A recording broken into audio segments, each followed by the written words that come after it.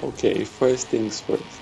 It's not the prettiest BMW in history, but it's definitely not an ugly car. This car is like an entry-level version of the BMW M line. Fact is, this car is a little rocket. And look, this car is the 1M, not the M1, like the M3 or the M4.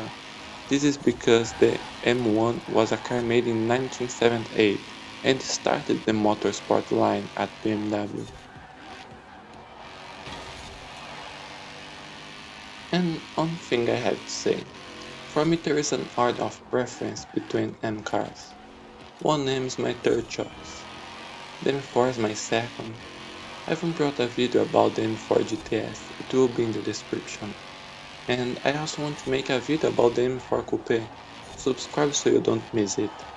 But back, the M car I like the most is definitely the M8. What a car! Beautiful, powerful. I want this car so badly in Forza Horizon 5. Let's talk about Forza now. The 1M is a very easy car to drive. The main feature of this car is its stability. It's amazing how you always have 100% of the car in your hand. It's even weird when you get another car.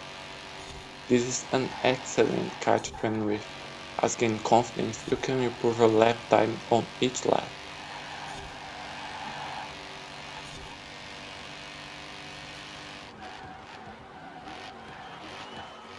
As you can see, the car has a good downforce, and at the same time, the top speed is not bad. We have to say that this is not the fastest car in A-Class, but if you get used to it, the 1M can be competitive.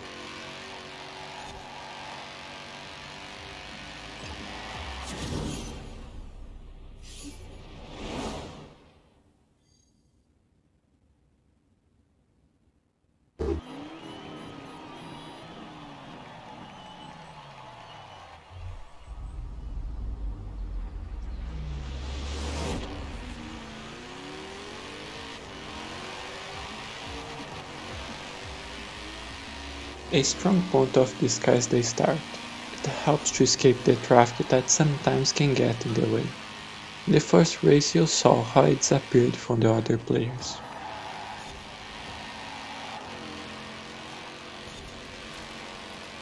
The brakes on this car are really good. This is a feature that we often don't notice it, but when I got other cars I noticed the difference.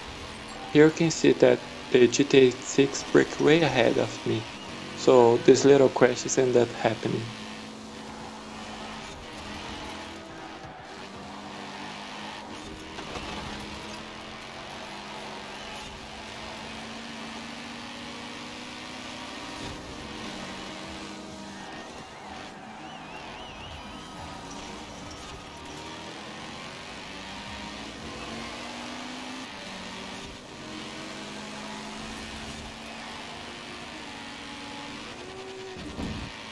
One point I didn't like about this car is the differential, because it's common for one of the wheels to skid when cornering.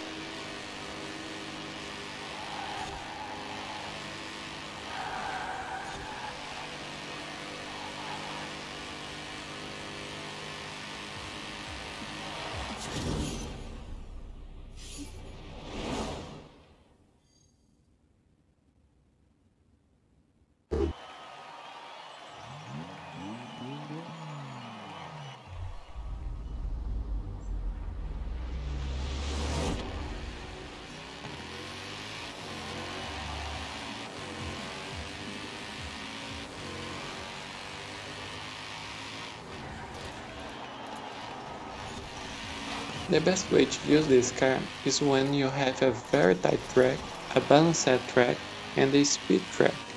In this case you might not win any of the races, but it is very likely that you win the adventure, as you score very well on all tracks.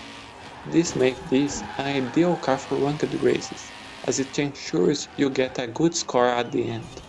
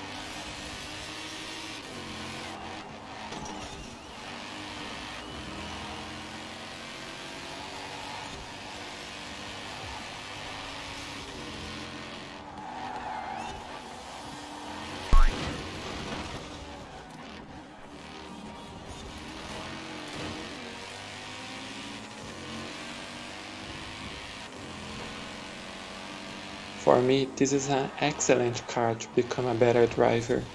It is easy to control, but to win, you will need to have good lines and correct braking points.